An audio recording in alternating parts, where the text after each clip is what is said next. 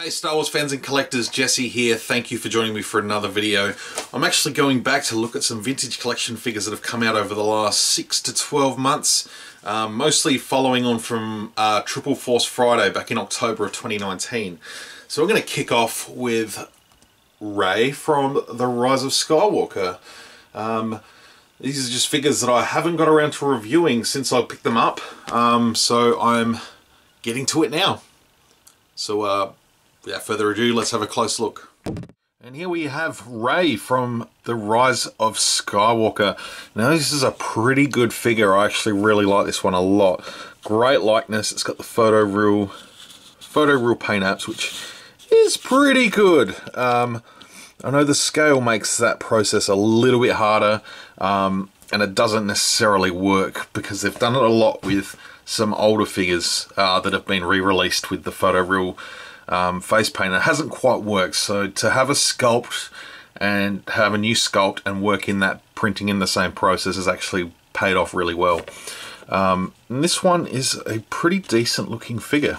Um, not unlike her 6 inch counterpart from the Black Series.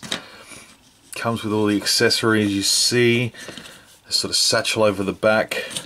Blaster in the holster, which unfortunately doesn't fit. um, I think there is an issue there, but I'll, uh, I'll, I'll talk about that as I go. She does also come with a lightsaber hilt. I've put that away in the accessories pack, so we're just going to have to do without it at this stage. So I'm just going to pop her off the stand. So we can get a close look. So it's not a bad likeness at all. I know my lighting isn't 100% perfect. But uh, yeah, the nice vibrant blue of the lightsaber. We'll get a look at the hilt. So it's this sort of repaired Skywalker hilt. Looks quite good. But yeah, I love that nice vibrant blue blade. So again, it comes with the blaster pistol that Solo gave her. Um, but yeah, like I said, it doesn't go through the hole, but what I think has happened there is a little bit of plastic has just gummed up in that hole, um, perhaps during the painting process, um, and I just haven't got around to punching it through yet, so I might give that a shot. Um, I just, every time I look at it, I forget to go do it, um, so I might do that when I'm done here. Um, so that should pay. That should work for me because, um, yeah, it fits okay. But yeah, I just need a need a little pin or something just to push that, just push that clogged bit of plastic out. I'm sure that's all it is.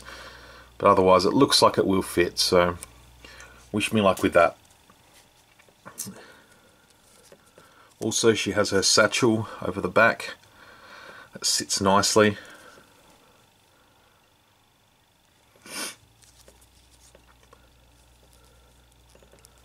Articulation wise, it's got the ball jointed head.